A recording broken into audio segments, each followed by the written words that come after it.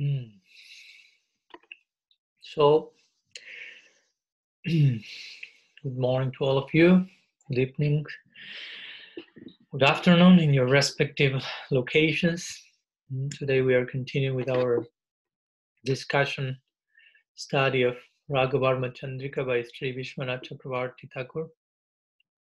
We are in our meeting number 22, 22nd meeting.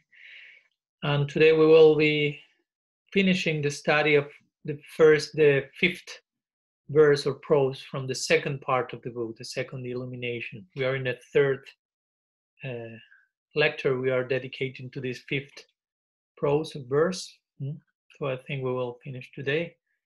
We will have some remaining, three remaining verses before finishing the whole treatise, mm, which will be considerably long. So we will be together, I think, for a month or so yet. so before starting with today's topic, let's make some recap of what we were seeing uh, last Thursday. We were studying this fifth verse from the second part. Uh, and then there Vishwanath is sharing some examples from scripture regarding this principle of uh, Madhurya and Aishwarya, specifically how hmm, how the Brajavasis react when Aishwarya becomes prominent in the dynamics of the Lila. What's their psychology hmm, to that, basically? So Vishwanath begins by quoting the Yugal Gita from the Bhagavatam, hmm, thir- 35th chapter, when the gopis are telling Jashoda Mai that the Gandharvas and other Upadevas, sub-demigods, hmm, surrounded Krishna when he was returning home, back home with the cows and friends in the forest, and they surrounded him in all the different directions, starting to worship him with hymns, prayer, flowers, and so on.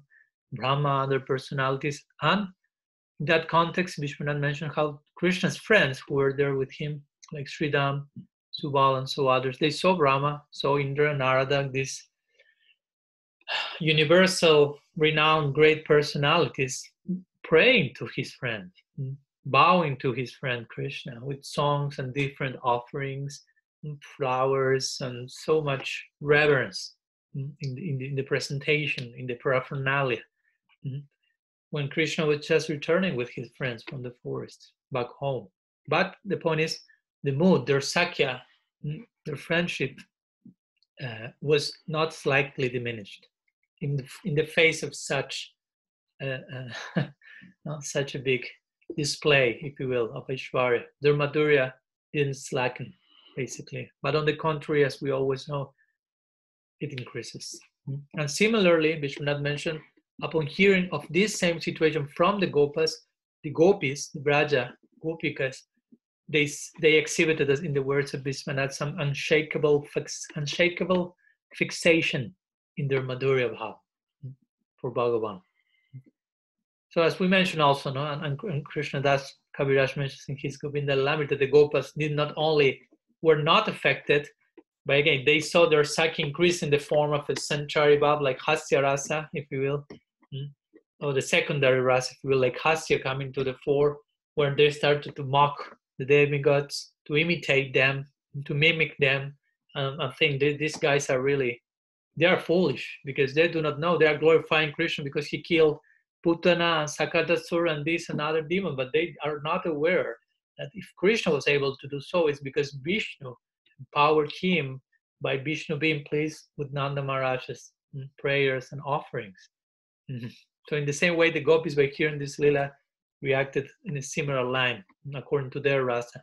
Also, we quoted Govardhan Lila, which is a very important moment in the Krishna Lila for giving as an example of how Aishwarya is overt and how the Brajavasis react mm, to that. Mm. The Madhurya is not diminished. Their intimacy, intimate connection with Krishna is not slackened, but on the contrary, it goes, it, it reaches new heights. So Vishwanath, in the next section that we shared, he continues with this idea, mentioning that in the same way, such as it- happened with the friends of Krishna, with the gopis, regarding Yashoda, she didn't experience the slightest weaken, weakening of their maternal love, their vatsalya, when she heard Nanda Maharaj is trying to console the elderly Brajavasis by sharing some words mm, uh, regarding the the Govardhan lila. Uh, some Brajavasis came to Nanda Maharaj say, well, maybe your son is God or something close to that. You shouldn't chastise him. I think you should treat him maybe maybe differently. What do you think? And as you know, Nanda Maharaj said, I know God. I know how God is, how Vishnu Narayan is. He's calm, he's peaceful, he's equipoised. Krishna is not like that at all. He lies, he cries, he fears, he steals, he cheats. and even if he's God, as we say, first of all, he's my son. So if I have to chastise him for to educate him, I will do that. Hmm. And remember Garga Muni's words about him that Vishnu will do wonderful things through him and so on. So in a similar way, Jashoda Mai, when she was hearing, Nanda reacted like this, and Jashoda similarly. And she heard this, um, her Vatsalya was not affected at all. Vishwanath here is giving the example of similarly like a, due to maternal pride, to maternal love, hmm, uh, she felt maybe, oh, I'm blessed to have my son as the Supreme Lord, hmm, basically. Her Vatsalya become intensified. Like an ordinary mother, he's saying, like a not Yashoda, basically. Any mother whose son becomes a king or a ruler or the president, we gave the example, mm, and she, her motherly love increases for him, basically. Mm, so we gave that example. Krishna is not God. My basically God is an aspect of Krishna. Krishna is God beyond God, something else. Mm, Krishna is not the president of the cosmic administration. That's God, Paramatma, Vishnu.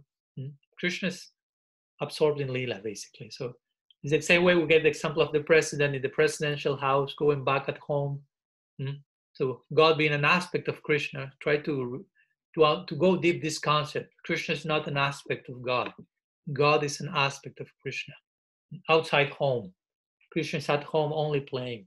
Mm-hmm. So different types of reactions here. No, and Vishwanath finished the, the section by quoting again the Sakha, saying maybe Okay, Krishna is God. We are blessed that our friend is the Supreme Lord. The Braja Gopikas in the same way. We are blessed that our beloved is the Supreme Lord. But the first thing is our beloved. Our friend is God.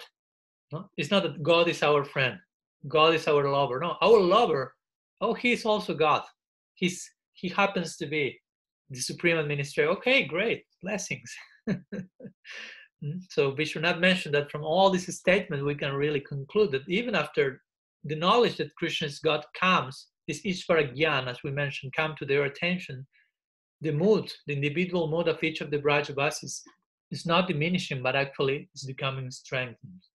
Hmm? So after this Ishvara Gyan, Ishvara Gyan referred to hearing, I mean, acknowledging that Krishna is God, like the case of Vasudev, as we mentioned, Devaki, Arjun, previous cases outside of Braj, or hearing from others that Krishna is God or maybe God, which is mainly the case for the Brajavasis. Or even if we will, will like to entertain the idea that they will be not only to hear about that but not believing, but even if they were to accept, okay, Krishna is God, that's totally secondary for them. My friend is God, my beloved is God. First, the mamata, the sense of I and mineness, will be related to the emotional bond with Krishna, not because he's God, but because he's their friend, their lover, their beloved, so on. Mm. So we finish our lecture speaking about this and the concept of pranay also in the context specifically of Sakya Madhurya Rasa, which has to do with this idea of non-differentiation between myself and the object of my love. He, I, I, he, we and I, I, you and me become we, as Guru Maharaj will say. This dynamic union with mm, there's so much intimacy, so much connection. One is an extended limb of the other, if you will. Such confidence, such visramba. So some words that we have tried to share, we will continue sharing today, trying to go deep into the psychology, hmm, plumb the depths, if you will, of the psychology of the Brajavasis, because that's what we want to become imbibed in. That's what it means to practice Raganuga Bhakti, gradually becoming more and more attracted, charmed, and identified with the psychology of the Brajavasis. That was that's a way to enter Vrindavan. Of course, we have also the, the mean the gate of the Gaur Lila in between, as we know. But now we are focusing here in connection to the Braj.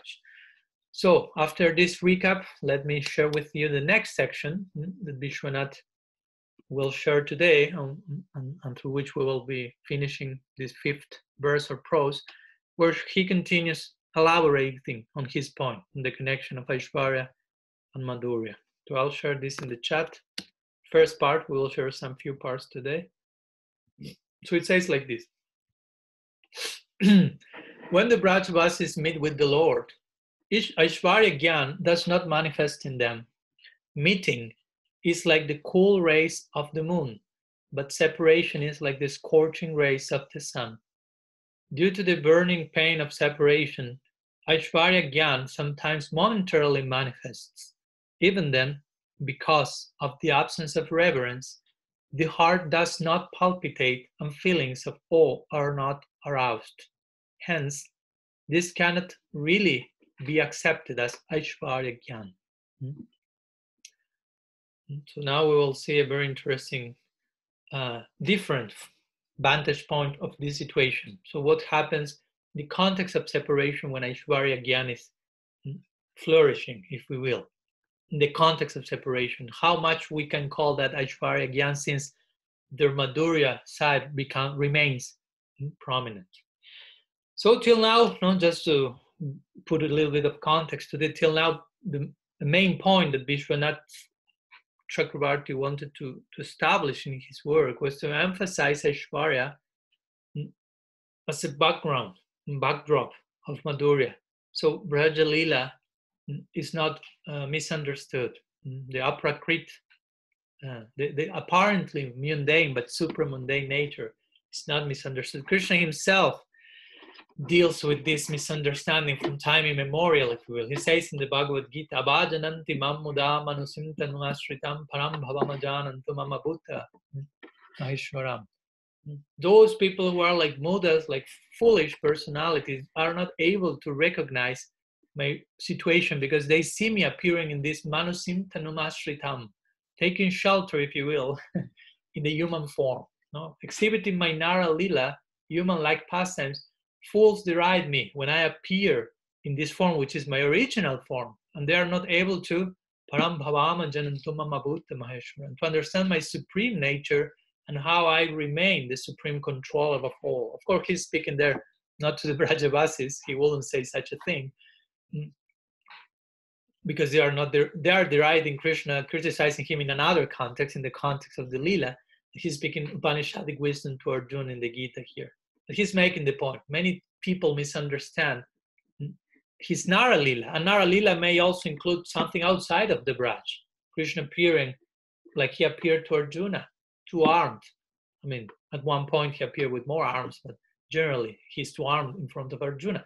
That's already some form of human like pastime. What to speak in the Braj. Hmm? The Srimad Bhagavatam also tries to to secure our, our understanding in a similar way, as you know. You have the, this main 10, not only the 10 cantos, the 12 cantos, but all the first nine pointing to the 10 in a gradual succession, but also we have these 10 topics, main topics of the Bhagavad, nine of them being the Tatastha Lakshan, which are trying to take us to the Swarupa Lakshan, to the main topic of the Bhagavad, which is Asraya, the Samam Banam, the ultimate shelter, which is Krishna, Bhagavan, and more specifically Krishna's Stu Bhagavan Sayam, and more specifically, as we said, Braja Krishna Stu Bhagavan Sayam. Hmm.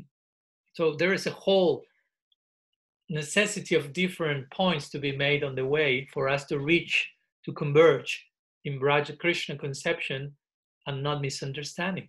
Hmm.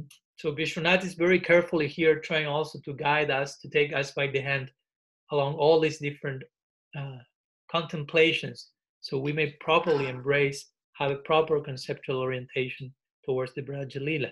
Mm-hmm. So we have to learn how to connect all these different things. No, the Bhagavatam says that. No, it's, it's trying to give us some showing proper understanding of Bhagavan and his connection with his Shaktis, and starting from those things that we already know, this world and ourselves, and gradually trying to take us to God and to the different aspect of God, and finally throwing us in the Brajalila. but so many lessons have to be learned in the way. So here, Vishwanath is trying to present a similar uh, dynamics. So now he will go into a different direction. He's continuing pounding the post of Aishwarya and Madhurya and how Aishwarya is taking shelter, if you will, in Madhurya. Madhurya has prominence in Braj, but Aishwarya is there giving transcendence to it all for it not to be ordinary. And now he will present this particular focus of the situation, which is how the Brajavasis hmm, keep experiencing Madhurya and inc- keep increasing their experience of Madhurya, even in the face of overt Aishvarya. Hmm.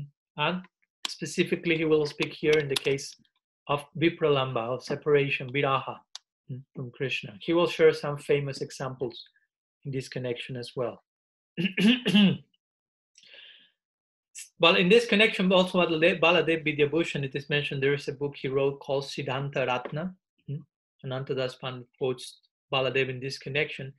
He says that Baladev there, he's saying that just, here he gives a nice analogy. He says, just as the Saraswati River hmm, is underlying in the Triveni, hmm, in this conf, I don't know if that's a word in English.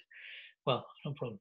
What this river need so just as the Saraswati river is underlying the Triveni, Aishwarya is underlying hmm, in the in the Madhurya of the Brajavasis.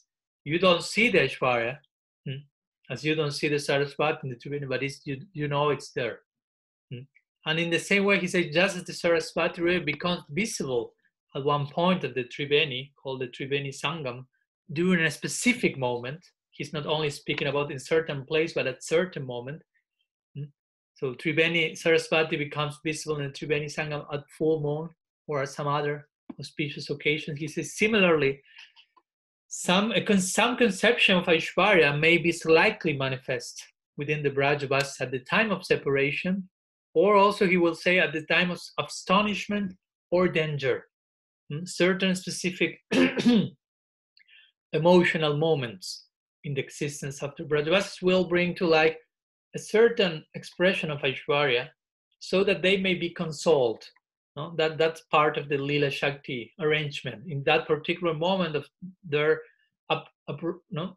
upsurging of that emotion, astonishment, chamatkar, viraha, separation, some danger. Hmm? So, in order for there to be properly consoled, Aishwarya Shakti has to, no, to do some service there, basically. Guru Maharaj expresses like that. No, every Shakti in a personified way. So Aishwarya Shakti trying to render some service in the Golok as well. So these are the moments, if you will. This is an entry point. But Vishwanath mentions here, even in those cases when in separation, astonishment, and so on, some comes to the fore, you cannot properly call that Aishwarya hmm, because there is no intense reverence at the time of its manifestation. And Vishwanath already defined before Madhurya, which means that that feeling that remains intimate even in the face of Aishwarya, even no matter what's going on outside, but how you are feeling inside. And so that's the point here. The Madhurya experience of Braj is, is of such nature that even when they will witness hundreds of Aishwarya-like, Aishwaric manifestations of Krishna, that's not causing even the slightest reverence in their in their hearts. Hmm, in their hearts. We are focus in that section, in the, in the hearts of the Brajavasis. Mm. and that won't weaken also the relationship with Krishna at all. Mm. On the contrary, as we mentioned, it will make the relationship with him more fixed, more firm. Mm. That's the, the interesting thing. It won't even remain the same. It cannot remain the same. It's always moving in some direction. And whatever is happening, some intimate moment or some Aishwarya like moment the nature of the Brajavasi psychology is such that whatever is happening on the outside, everything is nourishing their Madhurya for Krishna. That's an important point that Vishwanath wants to make here. No matter if Krishna is lifting Govardhan, no matter if Krishna, we will see, is, is, is, is, is rescuing Nanda Maharaj from the abode of Varuna, no matter if whatever is happening, or if he's still in batter, of his misbehaving with the gopis, no matter whatever he's doing, the only reaction from the side of the Brajavasis is an strengthened, on an increasement of their Madhurya. Hmm? So that, that's a very theme of Braj. And that's why also Vishwanath Chakravarti Thakur, he considers a very nice verse from the Bhagavad. We say, Traya Chupani Shabdischa Sankhya Yoga Chasatvatai Bhagiya Manamahatmyam Harim Samanya Tatmajam. It's a verse that says the three Vedas and Upanishads and, and different scripture consider Krishna the absolute, establish him in that supreme position. Hmm? The Sattvatas hmm? and so on. But he says, Upagiya Manamagadvan Harim Samanya Tatmajam. But for her, this is in the eighth chapter of the tenth canto, we are in the Damodar Lila. But for her, for Yashoda, Harim, Hari was Samanya Tatmajam. He, he, she saw him only as his, as her child. Hmm? That person that the Vedas and Upanishads glorifying him, and after him, she's saying, no, she's not God. You're, the Vedas Upanishads say Krishna is God. Yashoda say Krishna is not God. So who is right? Who is more correct? The Vedas are after Krishna, and Jasoda has Krishna on her lap. So who is correct? We take the statement of Jasoda ultimately. We take the Upanishads on our on in between level of our progress, but in our ultimate goal, we will fully embrace Jashoda's Siddhanta, if you will. Krishna is not God. and Krishna and Vishwanath Chakravarti, when he comments this verse in his Sarartha Darshan, he says, this is the Paribhasa Sutra for the whole Krishna Lila.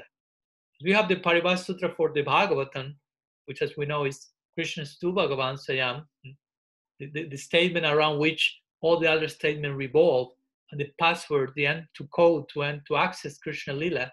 When you enter Krishna Lila, you have this other Paribhasa Sutra specifically connected to the Krishna Lila, which speaks about the very psychology of the Brajavasis. Hmm. All of them say something about Krishna, but the Brajavasis have another testimony to give.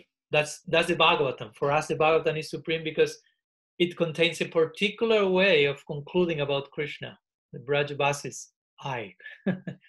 so eventually we want to embrace that Siddhanta for eternity. So mm, um, we already saw in previous classes mm, how in Vrindavan lots of, of Aishwaryas manifest there actually, mm, from Krishna's Kumar Lila from the very beginning all the way up to the Rasa Lila Krishna's exhibiting Aishwarya over and over again. And that's interacting in between with, in, in, with Madhurya. Hmm? And again, the Brajavasis had witnessed many pastimes like the killing of Putana with Krishna being just a few days, the killing of different asuras, Aghasura, Bakasura, hmm? the lifting of Govardhan, hmm? defeating of Kaliya, swallowing the forest fire. I mean, those are pretty Aishwaric things. But again, they felt no hesitation at all because Krishna was their Krishna basically. they were not like affected in the connection to him. Mm, actually, all these pastimes it is say that they appear as being decorated with unending madhurya. In their eyes, in their lens, the madhurya lens, everything was tinged with a particular sort of charm, even though there was so much Aishwarya on the outside. Mm. One example, classical example, is the Rasa Lila, hmm, when Krishna simultaneously manifested himself between each pair of the unlimited gopis entering in between hmm, to show this, this particular pastime. And after that, as you know, he entered the kunjas with different gopis to interact with them privately. Hmm. But all these signs of Aishwarya drowned it. Like sometimes there's one example given, like a grass drowned within the, the, the, the, ocean of the gopis madhurya or sweetness. Mm? And actually that nourished their feelings for him. So this is an example that is classically given from different acharyas and commentators, which is the example of the straw of straw of grass and the milk. You may put you may have a straw of grass and the connection to Aishwarya and Madhurya and their prominence in Braj. So you put the straw in a large pot of boiling milk. Boiling milk. So boiling milk will refer to the madhurya of the Brajavasis, the affection, the boiling affection. And the straw will refer Aishwarya, even though it's Aishwarya seems something very powerful. In the face of this madhurya, it becomes like straw. It becomes humbler than the straw in the street.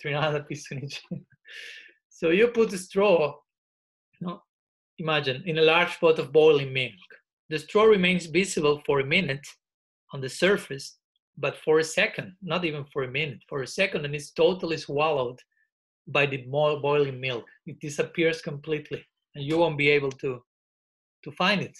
Hmm.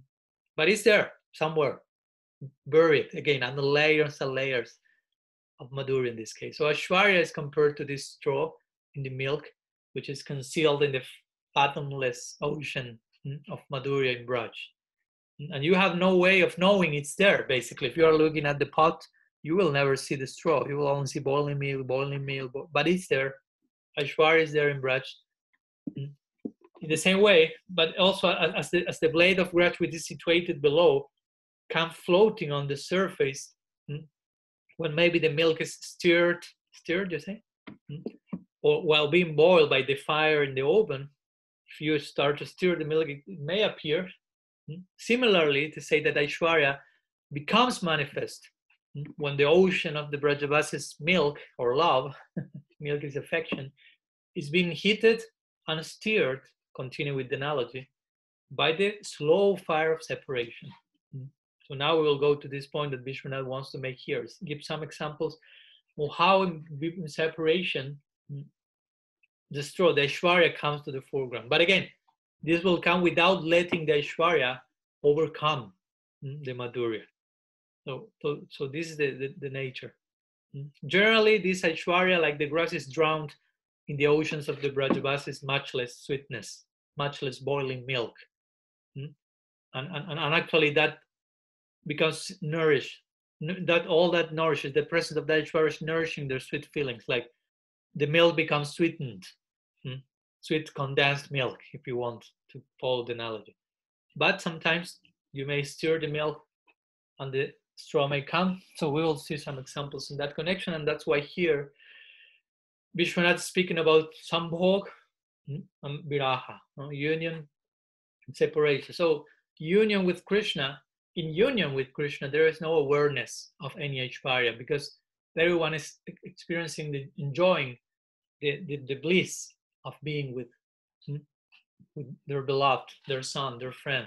So no tinge of Aishwarya can appear there because all emotions are being externalized and expressed, the interaction is there, the joy is there. So that's why that meeting is compared by Vishwanath here with the moon rays as cool and as pleasant. Cool because it's turning off the heat of separation, the forest fire, the scorching heat of separation, like the moon rays, and pleasant because it gives some taste, some rasa. In the same way that moon it is said in the Gita to give taste to different flavor to different foods. The same way the moon ray of Krishna's union gives rise to the experience of rasa.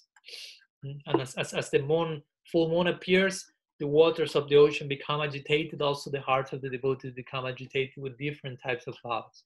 But at the time of separation, which is scorching, according to Vishwanath here, their awareness, the awareness of the Brajavasis of Krishna's Aishwarya, their Ishwar Gyan, as we mentioned before, somehow or other it get it manifests at times.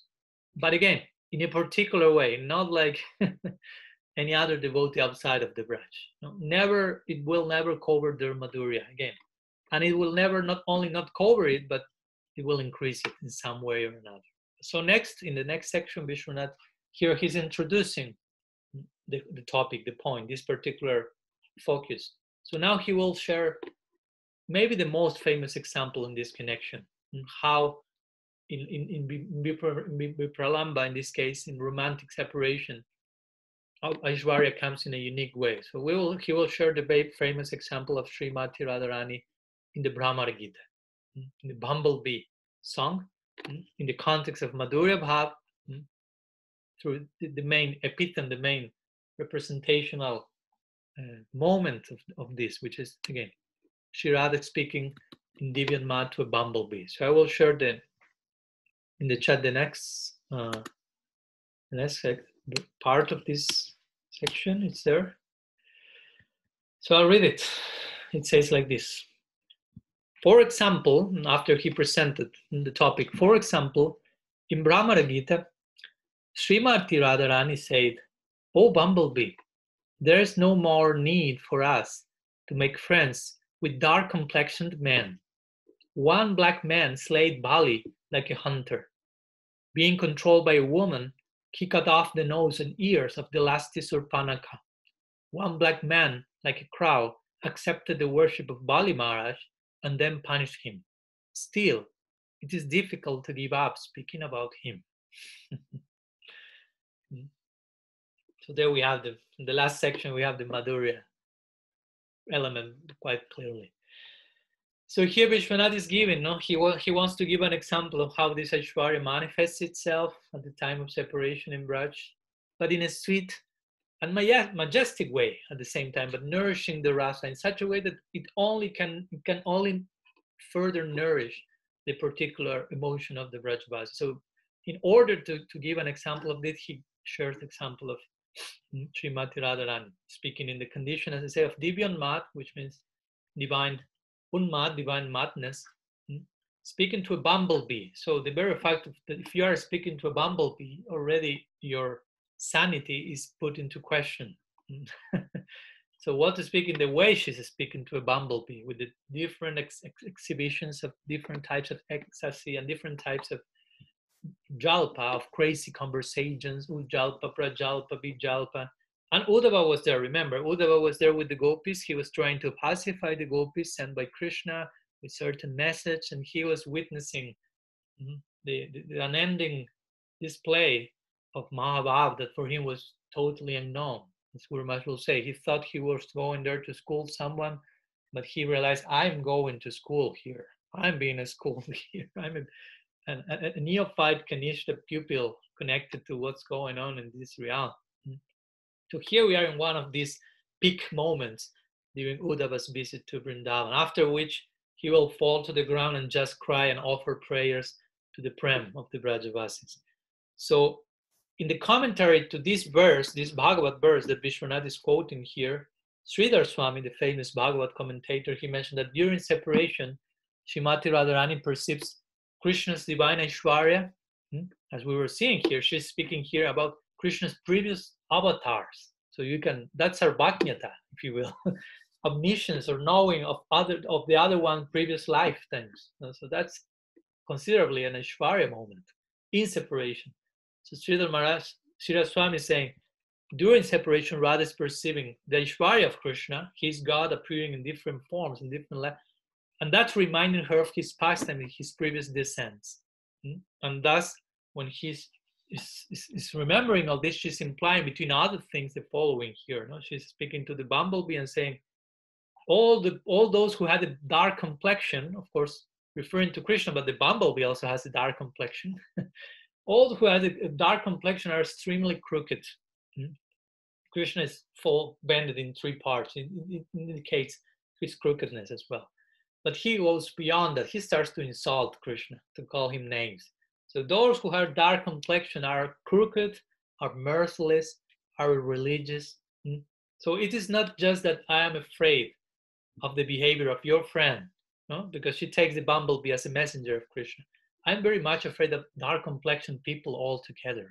No? Her Divyonmad Radha shows herself like traumatized, if you will, in that connection, speaking to someone who is dark complexioned. Hmm? so Anantadas Babaji in this connection, he comments that at this point, the sanchari bhav of Srimati Radharani, the transitory ecstasy of nirveda, nirveda means remorse, is so intense that she becomes afraid when she pronounces the word shyam, hmm, which has to do with dark complexion people in this connection. Hmm. So in this word, in this sense, he mentions she's just using the word asita, which means not white. No, it, it was too much for her to directly say black. Again, it's an ecstatic. I am saying she's traumatized, but please do not compare that with our mm, dysfunctionality on this plane. This is in terms of sanchari bhav, which are ecstasies, transitory ecstasy that appear to nourish mm, the sthayi bhav, the main ecstasy. So in this context, she's not saying mm, the black one, but the non-white one. and she, in that context, used the word asita for three examples she gives in this verse, connected to Krishna in different appearances. Two examples are connected to Ramachandra, one example is connected to Bhamandev. Hmm? So let's share some words regarding these two examples, mainly connected to what Vishwanath himself mentions is his purport to these verses in his Sarartha Darshini commentary. Hmm? But as an introduction, here Srimati Radharani again is speaking to bumblebee and saying, Oh, bumblebee, now you're coming trying to sing the glories of your master, but actually you are new to Mathura here, so you don't know the truth about the person you are speaking about actually. Not only in this life has your friend been cruel-hearted, actually, but in previous lives as well. And I have heard this from Purnamasi. So again, here Radha will say, I've heard from Purnamasi this, that Krishna has been Ramachandra in other birth and Bhamandev, but still there is some awareness, acknowledging of that in one context. So she's saying, not only do I fear hmm, such activities that he does in this particular lifetime or what on others, but also the nature of his color. Hmm, he's dark, hmm, implies darkness. So thinking, uh, uh, Sri Radha here is thinking of Krishna as, as, non-different because of similar qualities. So she starts to find fault in Ramachandra and others like Ramachandra who are famous like Dhirodata, which means someone like very uh, correct, hmm? like very Maryad Purushottam, that's the name of Ramachandra, the one who follows etiquette to the utmost extreme. Hmm? So she starts to connect and find faults in them and say, if they have faults, they are Dhirodata, they are expected to be so correct, and they have so many faults that we will see, then want to speak of Krishna. Hmm? He's crooked from tip to toe. so the first asita, asita again means non-white or black, and black implies impurity. So asita also is applic- applicable to an impure person. So in this case, she begins speaking about first two examples will be connected to Ramachandra. Hmm? So she said, one asita, one of these black, non-whitish, impure person, has secretly, behind, hiding behind a tree, killed the monkey king Bali. Here, this Bali is not the same Bali from Bamandev, no? Try to have clear the difference. Here we are speaking about the monkey king who appears in the Ramayana. So Ramachandra, Vanasita, no, she won't say Ramachandra directly, she said just Vanasita, one of these black personalities has secretly, like hiding covertly behind a tree, killed the monkey king Bali with his arrow from the back, just like a merciless uh, hunter, basically. And, and she says, even those who are hunters do not kill monkeys. Generally, that's not, they kill some other species, but not monkeys. Maybe deer, maybe this and that. But monkey, what, what for? They, the hunters know that monkey meat is uneatable. Hmm, you cannot sold that the monkey flesh anywhere.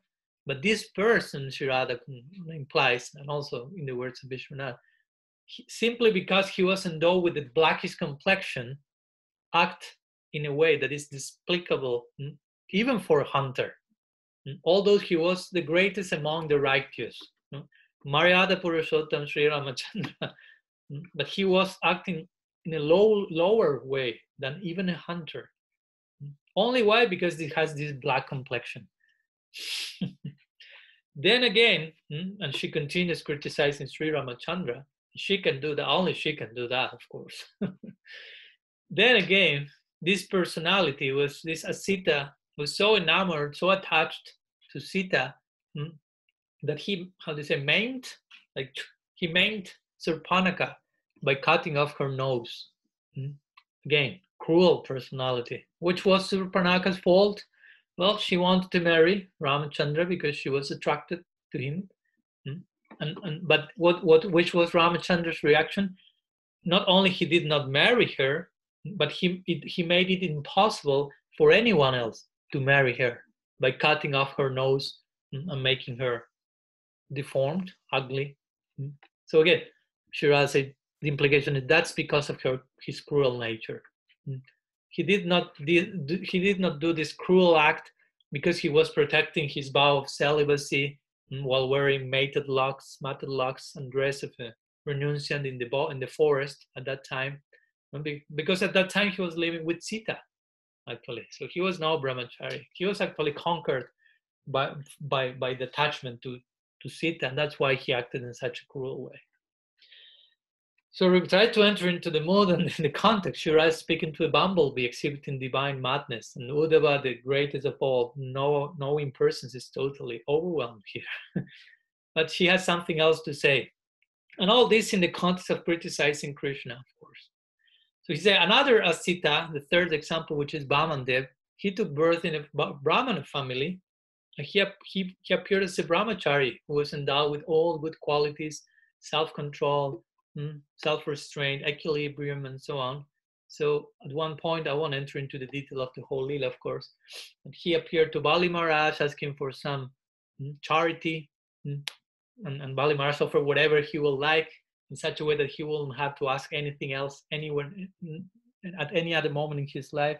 So he, no, he showed his small feet to Bali Maharaj. He was a dwarf, so was small feet. So Bali Maharaj, what do we want? Only three steps of land, you know. But at the end, as you know, he came up with very big feet, Radharani is implying here, and he covered the whole universe, planet Earth, Swarga, and eventually he bound up Bali Maharaj, took his articles of worship on the pretext of taking his third step of land. Hmm. So as you know, in the first and second step, Bali Maharaj himself uh, is saying, I gave you my land because he had conquered planet Earth at that time and even Swarga. So with first step, Vamandev covered the whole planet Earth. So Bali said, oh, I gave you my Earth. And then he covered the second, Swarga. I gave you my Swarga. But of course, at that point, Vidyavali, who was um, Bali's wife, said, I mean, you still are thinking in terms of your Earth, your Swarga? No, it never be, belonged to you. You are thinking in terms of Aham Mameti. If you think I gave you all this that is mine, actually you have not given anything yet because you have what you have to give is your false sense of proper proprietorship, your false sense of mine. So that's the third step, Atma Nivedana. Hmm? I belong to you. I give yourself, I give myself to you. You are my owner. Put your feet, third feet in my head. Hmm? Actually, that's the only thing we can actually give, give ourselves. Hmm? And not because we belong to us, but that's the only thing we can actually give voluntarily we do not belong to ourselves nothing belongs to us but what who do we belong to that's the real question so to surrender our false sense of independence independent existence that's the whole idea here so Sri Radha is criticizing Bamandev from this uh, in the context of her ecstasy, saying like, you cheated Bali Maharaj and just as a crow, she, she compares Bamandev with a crow. As a crow first eats the food of a donor and then hurts him by striking him with its beak. Mm, similarly, Bhamandev, this Asita, this other Asita, he had the righteous Bali being bound up by associates, his associates like Garuda, like Sunanda and so others, and finally he thrown him into the nether worlds, into the Patala lok. Mm, he rejected at that moment the qualities of a Brahman, mm, such as peacefulness and being straightforward, he acted like a cheater and he enjoyed all the offerings made by the pious King Bali and then threw him from his rulership hmm, off to the three worlds into a hole in the earth. Hmm. Sri Radha is implying all this in, in, the, in, her separation. So he was the son of the great sage Kasyapa. It is said he was even a brahmachari. But even though he was all that, Sri Radha implies, he makes my heart tremble of fear when I remember his evil behavior caused hmm, by by his adopting a dark complexion. Hmm? Not any, not one of many times of friendship of, of us with our, which we go up is our gold complexion ladies. Not any of, of the association with that black complexion man has proved auspicious at all. I mean, she's absorbed in Krishna basically, but connecting whatever is connected to him. Sanatan Goswami, his purport to this verse also extends Radha's ecstasy, if you will, to a fourth example. Well, Radha is criticizing Krishna for killing Arista, Aristasur, the bull, because the bull represents Dharma, you know. The, the Radha Kunda Lila, all this is there in the pre thing. Hmm. So here Sri Radha is giving an example of a type of, of, of jalpa, of mad conversation called avajalpa. Hmm, avajalpa. So avajalpa it is described by in the Rasa Shastra like some statements which show that attachment to him is unadvisable because of his hard nature, because of his lust, and because of his cheating behavior. And so she points these three points in, in these examples. Hard nature, he killed Bali from the back. His last, he was attached to Sita and thus cut the nose of Surpanakha. And cheating behavior, Bamandev, cheating Bali. Hmm? So statement which show that attachment to, to the lover to a person is unadvisable because of hard nature, lust, and cheating behavior is avajalpa, along with expressions of malice and fear, This is called Abajalpa. Hmm? So here, the killing of Bali Maharaj is indicating the cruel nature again, being controlled by woman indicates his lust. Accepting offerings as a Brahmin indicates fraud and friendship with the black fellow hmm, indicates fear for her hmm, and unsuitableness of attachment. So it's not worthy of attachment. So now there's that's the first part of Sri Radha's statement in this verse. But at the end you say you, you realize he said he said, but I cannot stop speaking about him. so in between these lines, it is after Radha said this first part, criticizing Krishna by invoking his different avatars and connecting this with dark complexion. It is like if the bumblebee, which is there, like humming, is like re- replying to her and say, "Okay, but if he is so full of faults, then why you are constantly speaking about him without end?" Hmm? I mean, you are criticizing others so do, do those who criticize others go around criticizing others constantly have pure hearts? Like implying you are doing that. So and, and this to this Sri Radha replies in this famous in this famous verse, and just tat katartaha, hmm, which basically says katartaha. Krishna is the goal of speech in Braj. Krishna is the converging point of all speech in Braj, all Gramya Katha, as Guru Maharaj will say. In, Gra- in Vrindavan, you will find Gramya Katha, village talk, where every Brajavasi may be speaking of Krishna, criticizing him, scolding him from different angles, but Krishna is enjoying that so much. That's the type of Hari Katha there. Raghunath Das Goswami says the same. I prefer to remain in Braj even while speaking nonsense with the village people and going to Dwarka to a topmost exposition of the Bhagavad or wherever. So Sri Radha replies to that, Dustyajastat katartha. Hmm? It's impossible for me to stop speaking about him because he's katartha. He's the goal of speech. He's the very converging point of all kata. Hmm? So talking about his activities in past lives is hard to give up, even though it gives us sorrow. All this in the madness of our separation. We, I know we should not be discussing about him, but we cannot give up discussing about him, even whether we criticize him or not. I mean, if we may speak about nice things about him, criticize him, we cannot stop. We are addicted, obsessed in that direction. Hmm. And although I do not need, implies any friendship with this blackish person, I'm still unable to give up the treasure of speaking about him. Hmm. Harikatha jai. That is this is the, the supreme. This is a very powerful statement that Sri Radha is making here about the glories of Hari Kirtan and Hari Katha. She's saying basically, I can give up everything. She's speaking to the bumblebee.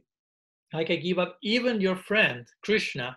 He's speaking to the bumblebee. I can give up, give up him, but I cannot give up speaking about him. I can only survive, that's implication. I can only survive this terrible separation from him by continuing to talk about him. So that, that, that's why Sri Radha is who she is. Hmm, the supreme personality hmm, of love for Krishna. Hmm, Krishna is the supreme personality of God, Krishna is the supreme personality of love for the Godhead. and the supreme personality of Godhead for the Godhead, if you will, the she goddess. There's there are different examples in the scripture that speak about Radha's addiction. Even though she determines, I won't speak about Krishna anymore, I won't see Krishna anymore. sometimes Radha, and another chapter, let's go for, for a moment to another section, but just to expand the idea that when Srimati Radha is angry with Krishna, she's in not, not pravas, not the separation caused by time and distance, but man. She's angry with him. The point is similar. So sometimes her first resolution in separation from Krishna will say, I will not look at him anymore. I know which is the consequence of that. And Krishna's nearby trying to get close, but she's, I don't want to see you. But Krishna starts to speak in a very sweet way. And Radha is looking into the opposite direction. Hmm? And Krishna is standing before Sri Radha as, as if he's begging to her, just look at me once, just once. Hmm? And the Sakhis, the gopis are there, and they start to tell to Radha, oh, how, hmm? how sweetly he's standing there in his tree, you know, Tribangalalita, three bend, threefold bending form, the life of that lady who does not see such Madhurya, such sisters, is totally spoiled. So Sri is not wanting to look, but hearing all those things. so what to do? No, she becomes eager to see Krishna and looks at him just only once, and goes off again. but her first first resolution is broken. Her first vow is broken. I won't look at him anymore. She broke the vow at some seconds after that. So her second resolution, she still says in man, will say, I won't speak to him at all. But you know how nicely Krishna speaks. His Bhavaduk, his speech is very nectarian. So she rather cannot stay silent anymore. Krishna starts to speak and she starts starts to scold him, saying, Go to that girl you love, to that Chandra something. Hmm, what what are you standing here for? Speaking all these clever words and but she starts to speak to Krishna. She say, I won't speak to him anymore. So her second bow is gone also. and her third boy will, will maybe also in those moments, I won't touch him. I won't get, don't want to get contaminated by the touch of that blackish person. But Krishna is nearby and gradually starts to bring his foot forward. And she, he touched the tips of Sri Radha's toes, toes, the feet toes. So that will make Sri Radha steady. Just that slight contact with Krishna creates a whole turmoil in her. And she angrily will take Krishna by the hand and push him out of the kunja. But again, she's touching him. this way, Srimati Radharani will think will conclude. You, she will speak to her own girlfriends. Just see, I've touched him as well. I broke. I, if I cannot keep any bow, then how can I keep him away? So at that moment, she will hold him by the neck and bring him back into the kunja. So in this point, similarly here, going back to the bumblebee leg talk, this, this verse is showing her addiction to Harikatha.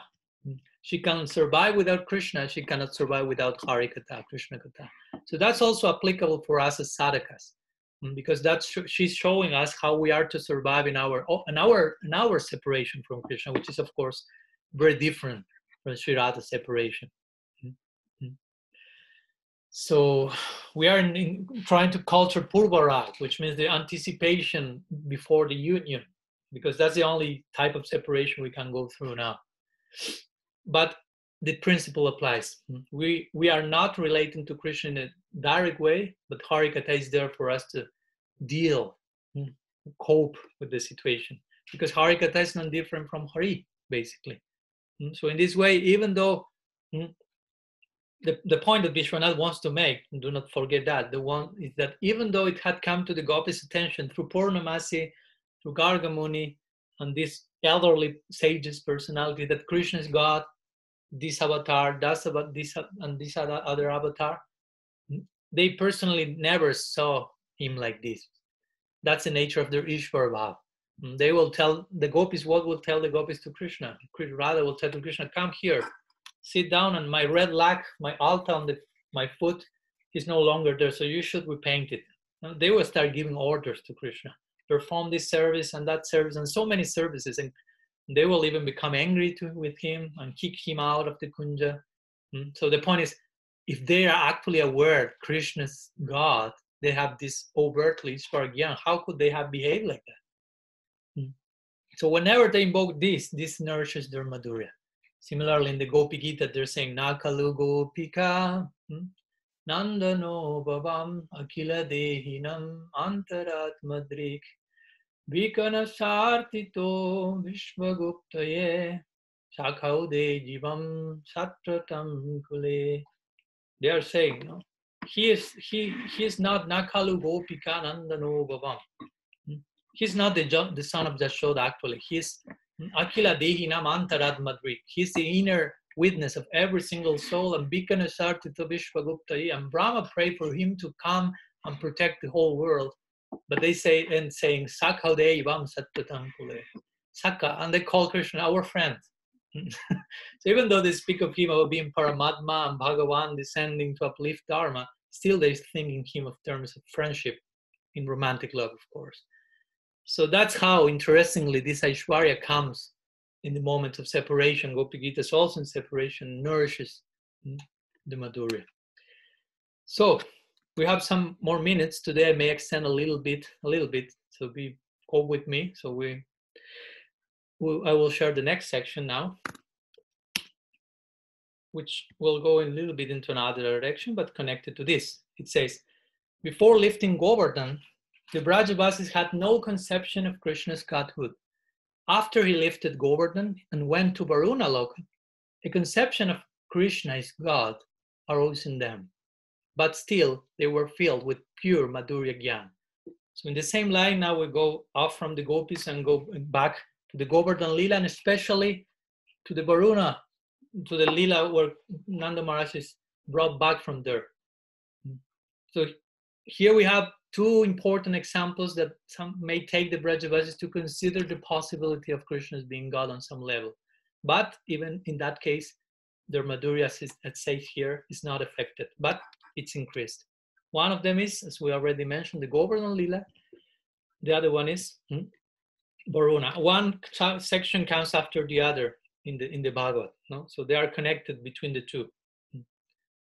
When, when Nanda Maharaj is kidnapped in, in the realm of Varuna. So although the Brajavasis, hmm, as I said, they witnessed many of Krishna's Aishwarya Lila, like kill, killing of demons, etc.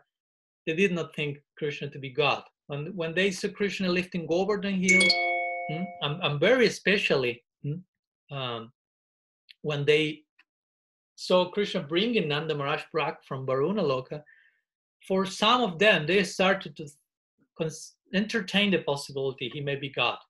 Hmm? As we saw already in the previous lecture, no? after Krishna lifted Govardhan, the Brajabasi told Nanda Maharaj in the Bhagavatam, if it's not possible for a child who took birth in a family of cowherd, this says the Bhagavad, to perform such astonishing feats. I mean, he's a cowherd. This, this, this seven-year-old boy has lifted the Govardhan hill, the Bhagavatam says, with just one hand, with the same ease as Airavat, the king of elephants, holds a lotus flower in his trunk. Hmm? Similarly. So what's what's their psychology there? They're thinking he must be God. Uh, on one one level that comes again in their own psychology. But if that is so, if he's God, how he how could he be born in a cowherd family and become the object of our criticism in the sense of again how the Brajavasis called Krishna and so on? They they even think Vishwanath comments in the in the verse, in the commentary to this verse, even the lesser avatars are not born in such low family as ours. What to speak of outstanding avatars? So again, the Brajavasis always think we are low born, we are not great people. so since an ordi- and since an ordinary child cannot hold up a big mountain, that's the point. There's great contradiction in our minds, they think, because of this we see him as a child, but also as the Lord but that perception is contradictory. So in this way, we have it out, and that's why they ask Nanda Maharaj. But some Brajavasis at that point were concluding, "Oh, Braj, Lord of Braj or Nanda Maharaj, mm-hmm. when we see all these amazing activities mm-hmm, of your son, we become overcome with doubts because he's your son, but he cannot be an ordinary human child. Certainly, he may he must be the Lord, the Supreme Lord, endowed with Chinta Shakti, and, and as we also heard in last class, when Nanda Maharaj heard these words, he quoted the words of Garga Muni, he says some other things when Garga performed Krishna's name ceremony and so on. Hmm. There's one verse in the Bhagavatam when Nanda Maharaj says, Oh, Gopas. Hmm. So from then onwards, I consider Sri Krishna to be an Amsa of Sriman Narayan, who is able to do anything. Hmm. So in this way, the point is Nanda Maharaj said this trying to produce faith in awe the fact that he was sharing. So he hoped to eliminate their astonishment. Remember, uh, this Aishwarya can come not only in separation, as we see with Sri Radha and the Bhramara Gita, also astonishment. Like this case, there is no separation, but there is particular chamatkar, astonishment.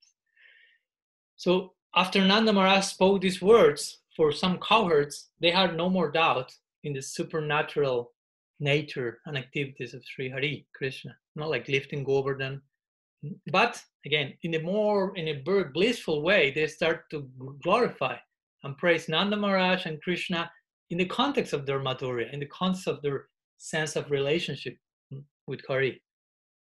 So interestingly, Krishna is actually, even if Nanda Maharaj say, from now on I consider Krishna Namsa of Narayan, still that's a form of madhurya because actually Krishna is superior to Narayan. But here he's said to be similar to Narayan or he's an Amsa of Narayan. So actually, to increase the affection, the, the real position is hiding. Naturally, it's hidden. He's the supreme personality of God. So okay, he's seen as a some delegated power over there. Hmm? And in the same way, apart from Govardhan Lila, we have this section where Nanda Maharaj was kidnapped from, from Varuna in Varuna's boat. And Sukadev Goswami, he mentions to Parikshit Maharaj similarly in, in the 10th canto, chapter 28. He says, O king, seeing the transcendental hmm, opulence of Varuna Loka and seeing the inhabitants of Varuna Loka behaving like servants towards Krishna, Goparaj Nanda became most astonished and told it to his friends and relatives. Hearing Nanda's words, the cowards consider Krishna to be the Supreme Lord. So we see there are some moments where this awareness comes, but in the particular context of the Braja's psychology. So even then, still, even then, when the Brajavasis conception of Krishna hmm, as their extraordinary good worldly friend, if you will, remained unchanged hmm, because they were totally fixed in their Madhurya psychology, in the intimacy of the dealings of Braj. Hmm. Jiva Goswami also nicely comments this verse of the Bhagavatam, and he says that that seeing re- the respect given to Krishna by Varuna and his associates, because it's, this is a type of heavenly realm, if you will, lots of Aishwarya in, in their own way. Seeing all that, Nanda was astonished. Hmm.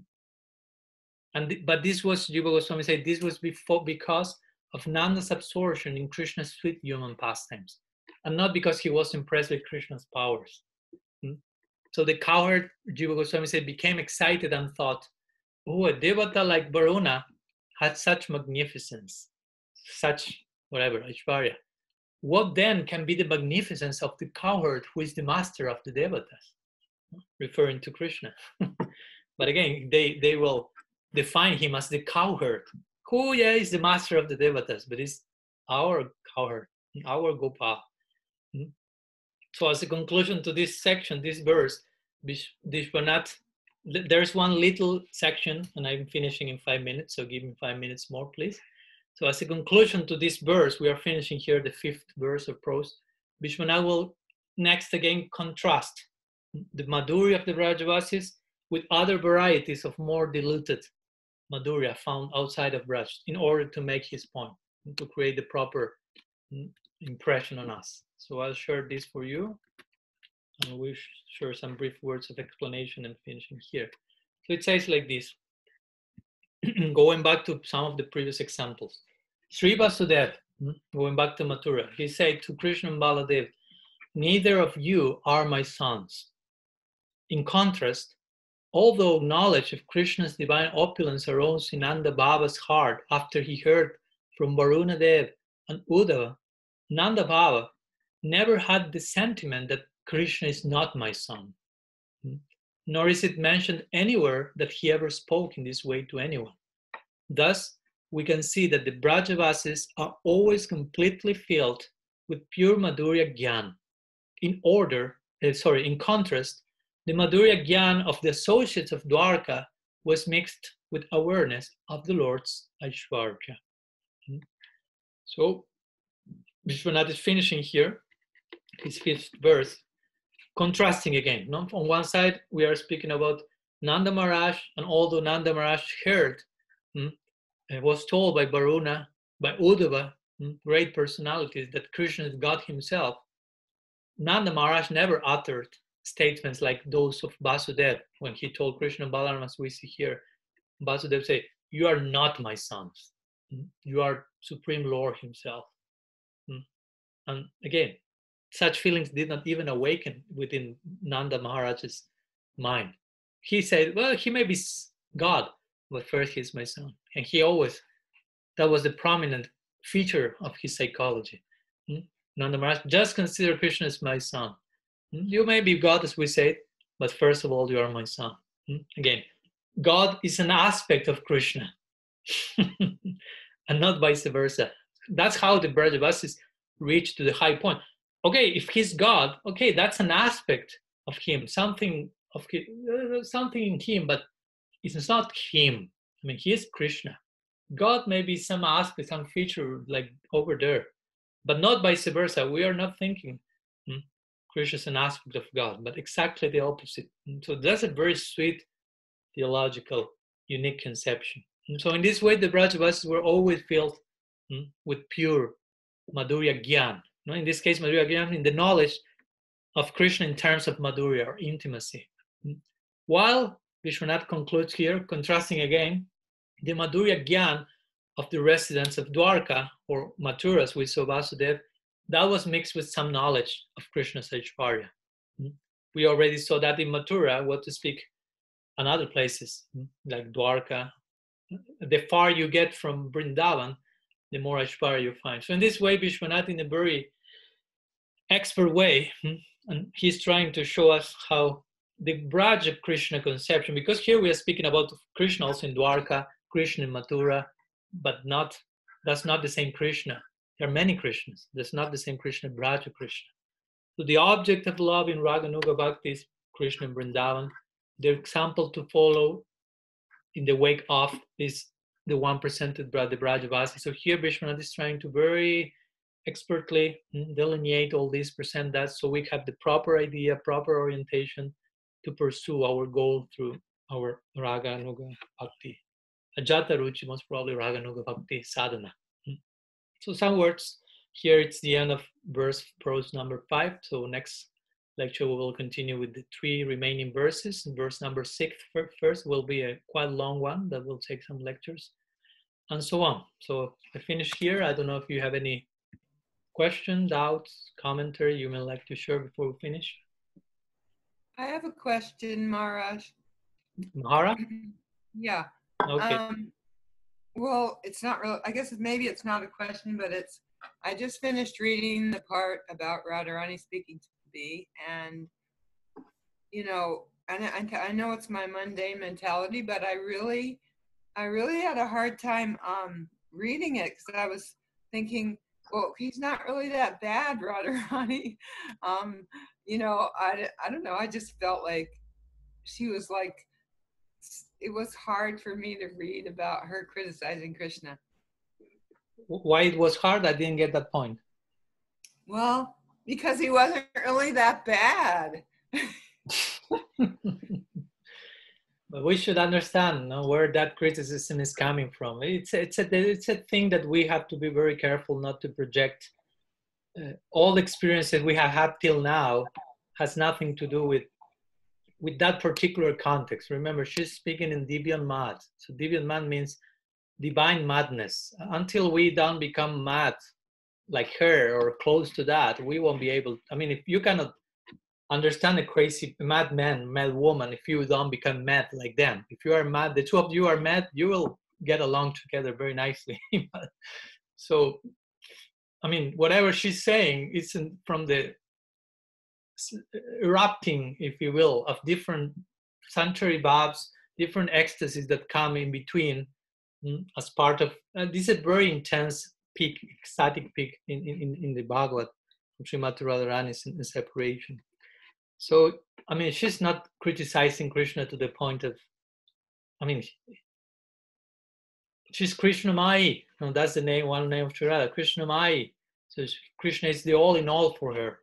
So there are it's just different different like vantage points through which she remains absorbed in, in her beloved try to understand that in the same way as separation seems to be painful and you may say oh those brajavas are suffering separation poor of them but actually they're experiencing great ecstasy in the same way even though Sri Radha seems to be scolding krishna so hard and speaking names to him I mean, that's that's really topmost affection is in between the lines. so we have to develop gradually the adhikar for for entering that. No? So it's it's a gradual process. That's a very high section of the Bhagavad. So it's understandable that it's not so easy to grasp and to enter. It's again full access to that. It's when we got mad, close close to that madness. And if, if one is having the the projection of serving under such a guidance, one should gradually enter into that into that influence. No, so some ideas. That's a pretty esoteric section for sure. Well, thank you. I, I just really needed to express that. So thanks for No problem. listening. Yeah, he's he's not that bad. We'll we'll love Krishna as well.